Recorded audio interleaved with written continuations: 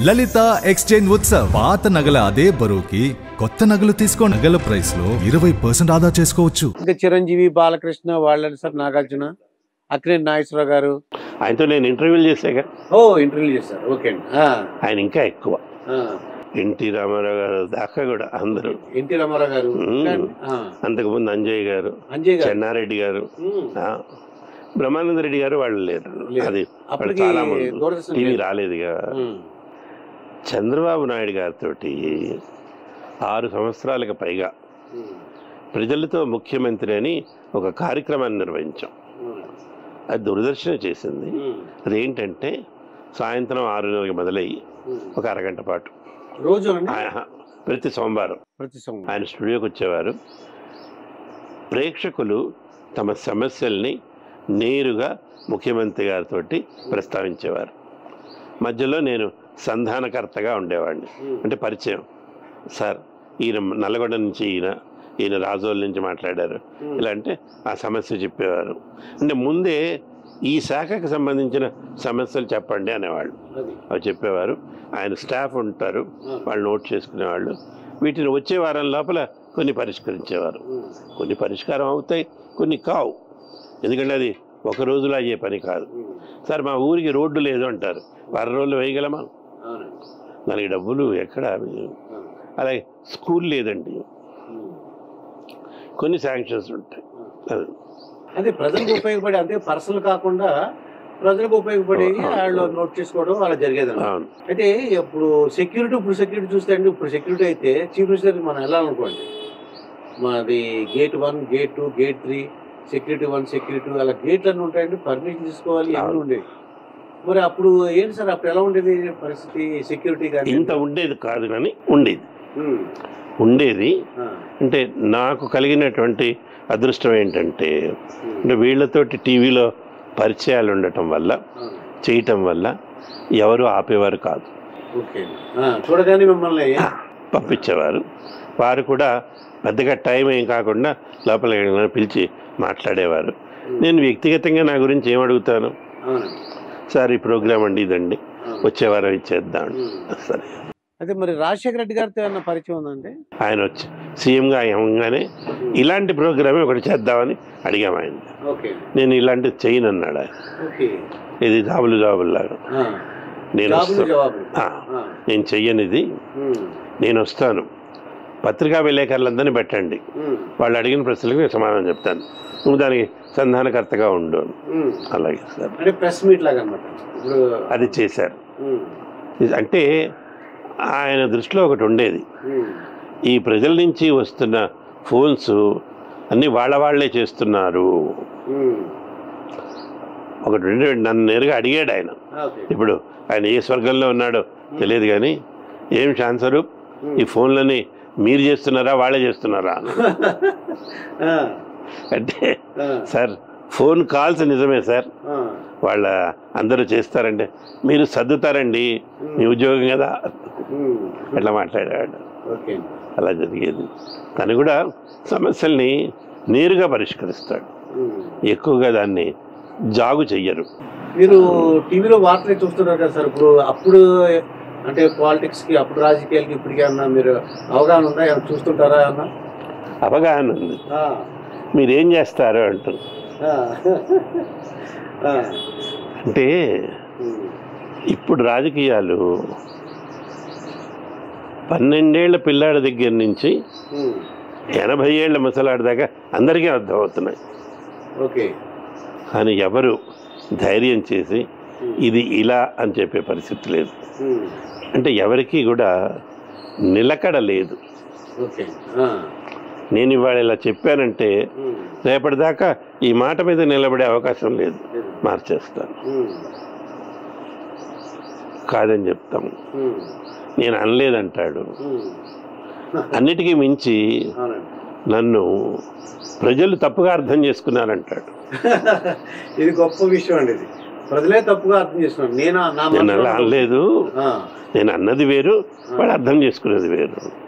Okay. వాళ్ళతోటి వాగ్యుద్ధం అనవసరం. కానీ ఒకటి మటుకు జరుగుతోంది. మన సమాజం మీద రెండు వర్గాలు విపరీతమైన ప్రభావాన్ని చూపిస్తున్నాయి. ఒకటి రాజకీయాలు రెండు సినిమాలు. సినిమా. సినిమా వాళ్ళు మేమేం వాళ్ళని చెడగొట్టాలని తీయట్లేదు వాళ్ళు అడుగుతున్నారని తీస్తున్నామంట. ఎవరైనా మిమ్మల్ని వచ్చి అడిగారండి? ఇలా చొక్కా లాగులు లేకుండా సినిమాలు తీయమని లేకపోతే కథలు ఇష్టం ఉన్నట్టు చెప్పమని. అంటే వాళ్ళు మేమేం చెప్పాము? మీ దగ్గర ఉన్న కథలే మేము చెబుతున్నాం అంటారు అంటే టెన్త్ క్లాస్ ఇంటర్మీడియట్ గర్ల్స్ అది ఇది అదే ఆ వయసులో ఉన్న పిల్లలు ప్రేమించుకోవడం ఒక ప్రేమేనా. అన్ని పనులు. దానికి ఒక పద్ధతి కానీ. ఇది కానీ ఏమీ లేదు ఎవరు ఎందుకు చెప్పారు. ఇంకా ఏంటంటే వితండవాదం చేస్తారు ఆ గుళ్ళ మీద ఆ బొమ్మలు చూపిస్తారు. అవి లేవా. మీరు గుడికి తీసుకెళ్ళామని చూపిస్తారు. మేము చేస్తే తప్పేంటి. అలాగే ఇప్పుడు కొత్త కొత్తవన్నీ వస్తున్నాయి పెళ్ళిళ్ళే చేసుకోవాలా పిల్లల్ని కంటానికి పెళ్ళిళ్ళు ఎందుకు నేను ఎవరి తప్పుపడట్లేదు అవునండి. ఎవరి స్వేచ్ఛ వాళ్ళకు ఉంది ఆ అడిగే ముందు ఇది ప్రభావం. మీరు మీ ఇష్టం మీ జీవితంలో మీరు చేసుకోండి ఎవడు అడగడు. ఒక సమాజ వేదిక మీద వచ్చినప్పుడు. అవి అడగాలా వద్దా. అవి చెప్పాలా వద్దా. అలాగే రాజకీయాలు కూడా. నిన్న నేను ఒక మాటని ఇవాళ నేను అనలేదని. నన్ను మీరు తప్పుగా అర్థం చేసుకున్నాడు చూసేవాడు ఏమంటాడు. ఆ ప్రభావం చూ అవి తగ్గాలి అంటే. మన టెలివిజన్ మాధ్యమం నిజాలనే చూపించాలి. వ్యాఖ్యానాలు తగ్గించాలి. అప్పుడు ఉపయోగపడుతుంది. అయితే మీరు ఈ సినిమాలు అన్నందుకు ఈ సినిమా హీరోలు లేకపోతే హీరోయిన్లు వాళ్ళతో పరిచయాలు కానీ ఇప్పుడు మాట్లాడడం కానీ? మాట్లాడటం ఉంది. పెద్దగా పరిచయాలు లేవు. నాకు తెలిసినంత వరకు అండి ఇదివరకు ఏం చేసేవారంటే సెల్ఫీ ఇప్పుడైతే సెల్ఫీలు తీసుకున్నారు. పూర్వం అయితే ఆ సినిమా వాళ్ళ దగ్గర ఆటోగ్రాఫ్లు తీసుకునేవారు అంటే అటువంటి వాళ్ళతో ఏమైనా పరిచయం ఉందా? లేకపోతే. నా ఆటోగ్రాఫ్లే చాలా మంది తీసుకున్నాను ఓ సినిమా యాక్టర్లు అండి వాళ్ళకి సరదాగా ఉండేది. పేర్లు ఏమైనా చెప్పగలరా అండి వీళ్ళందరూ నాకు చెప్తేనే వాడు శ్రీనివాసరావు వీళ్ళంతా. తర్వాత వేరే చోటికి వెళ్తే కూడా వాడు అంటే నేను సినిమాల్లో వేసి విడుదల కాని సినిమాలు ఉన్నాయి. అలాంటి సందర్భాల్లో వెళ్ళినప్పుడు మర్యాదగా మాట్లాడతారు. వేరే వాళ్ళకి ఇచ్చే మర్యాదకి నాకు పదింతలు ఎక్కువ ఇస్తారు. వచ్చి పలకరించి ఇవి. ఇదే సందర్భంలో వేడుక ఇక్కడ హైదరాబాద్ వేదిక. నేను కూర్చుంటే సాయి కుమార్ వచ్చారు. నేను తెలియదు కదా అని గప్చిప్గా కూర్చున్నాను. అంత దూరం నుంచి నడిచి లేచి వచ్చాడు ఆయన. లేచి వచ్చి సార్ నమస్కారం అండి. నమస్కారం. సార్ నా పేరు సాయి కుమార్ అండి. అని అన్యాయం మీరు ఇట్లా మాట్లాడారు. అంటే నేను ముఖతహ కలవలేదు కానీ మిమ్మల్ని చూడకుండా మాకు రోజు గడవదు. టీవీలో. అంటే చాలా సంతోషం అండి. మీరంటే నాకు చాలా ఇష్టం అండి వాళ్ళ నాన్నగారు కూడా చెప్పారు ఆ మాట. పీజే శర్మ గారు. ఆయన మద్రాసు నుంచి వచ్చినప్పుడు ఏదో ప్రోగ్రామ్కి స్టూడియోకి వచ్చారు. ఆయన చెప్తే ఇంకా చిరంజీవి బాలకృష్ణ వాళ్ళని సార్ నాగార్జున? అక్కినేని నాగేశ్వరరావు గారు? ఆయనతో నేను ఇంటర్వ్యూలు చేశాగా ఓ ఇంటర్వ్యూ చేశారు. ఓకే అండి. ఆయన ఇంకా ఎక్కువ. జోక్స్ ఎక్కువ ఉంటాయేమో. ఆయన పైకి ఎంత కనపడతారో అంత సీరియస్గా జోక్ చేస్తారు. అమ్మో. ఆయన చేసి స్టూడియోకి వచ్చారు. నేను అన్నపూర్ణ స్టూడియోస్కి వెళ్ళి షూటింగ్ చేసాం అవన్నీ ఉన్నాయి. ఎన్టీ రామారావు అది చివర్లో. ముఖ్యమంత్రి అయిన తర్వాత వెళ్ళాను వెళితే వెళ్ళిన రోజు ఆయన గొంతు బాగాలేదు. మా గొంతు బాగాలేదండి కూడా చేస్తున్నారు మీరు. అంటే. సరే మళ్ళీ తర్వాత చేద్దాం అలాగే సార్. అప్పుడు చంద్రబాబు కింద నిలబడి ఉన్నాడు వాళ్ళ ఇంట్లో. ఆయన కేవలం అల్లుడే. తర్వాత ఈయన సీఎం అయ్యాడు. ఇవన్నీ ఒక ఎత్తండి. నేను మర్చిపోలేని జ్ఞాపకం ఇంకోటి ఉంది. కేసీ అబ్రాహిం గారని గవర్నర్ గారు ఉండేవారు. ఆంధ్రప్రదేశ్కి. ఆయన పెద్ద ఆయన ఎనభై ఏళ్ళ పైన ఉంటాయి. టీచర్గా పనిచేశారు ఆయన. ఇక్కడ గవర్నర్ అయ్యారు. ఆయన రోజు వార్తలు వినేవాడు. మలయాళి. ఆయనకి తెలుగు రాదు. కానీ వార్తలు వినేవాడు. అంటే అది చూడ చూసిన దాన్ని బట్టి అర్థం అవుతుంది అర్థం. చూసిన దాన్ని బట్టి ఆయన తన ఐదేళ్ళ పదవీ కాలం అయిపోయిన తర్వాత వెళ్ళిపోబోతూ సందేశాన్ని రికార్డ్ చేస్తామని అడిగారు. రమ్మన్నారు. చెయ్యబోతూ మా ఆఫీస్ వాళ్ళకి మెసేజ్ పంపించాడు ఆయన. ఉమ్. ఆ పిల్లాడిని పిలవండి నేను కలవాలి అతన్ని అని. ఆ. మా డైరెక్టర్ గారు భయపడిపోయారు. నువ్వేం తప్పు మాట్లాడావు. ఏమైనా చెడుగా ఉందేమో. గవర్నర్ గారు పిలిచారు. సార్ నేనే మాట్లాడతానండి. సరే మర్నాడు వెళ్ళామండి. వెళ్తే నేను వస్తున్నానని ముందే చెప్పారు. ఆయన అక్కడ వాళ్ళ స్టాఫ్కి చెప్పారు కూర్చోబెట్టారు. ఆయన పేడ మేడం మీద నుంచి దిగాలి? మెల్లిగా దిగి వచ్చారు. పెద్ద ఆయన నడవలేరు. దిగి వచ్చి రాగానే మొదటి ప్రశ్న ఆ అబ్బాయి వచ్చాడా? యాజ్ దట్ బాయ్ కామ్ ఉన్నాడు వచ్చేసారు ఇలా చూశారు. నిలబడి sit down sit down sit down I am your fan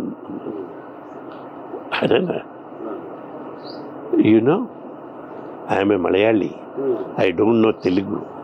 But every day I watch your news. I have learn news because of your bulletin. I like it very much. When I go back I still watch it. God bless you thank you sir అయితే ఇంకో మాట అన్నారండి. అది నేను మర్చిపోలేను. I am a poor man I cannot give you any gift. నువ్వు నువ్వు సరే your blessing is the gift అన్నాడు నువ్వు లెట్ మీ గివ్ యూ అని ఆ పక్కన వాళ్ళ స్టాఫ్ ఉంటారు కప్పు సాసర్ అడిగి తెప్పించి. దాంట్లో నేను కాఫీ తాగానని తెలుసు వారు. పాలు పోసి. పెద్ద ఆయన ఆయన. చక్కెర వేసి యూ ప్లీజ్ టేక్ దిస్. నాకు. కళ్ళబడి బర్ర నీళ్ళు.